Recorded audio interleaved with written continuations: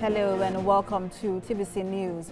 We begin with a report that gunmen have kidnapped a professor in the Department of Urban and Regional Planning of Modibbo Adama University of Technology, Yola. A correspondent gathered that Professor Felix Ilesanmi was abducted on Thursday night from his residence at the staff quarters of the university in Girei, headquarters of Girei local government area of Adamawa State.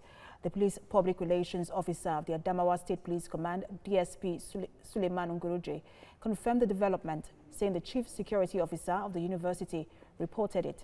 Professor Ilesanmi is the second professor of Mautech to be abducted in a little over one month. Last month, a professor of soil science in the university, Adamu Zata, was kidnapped.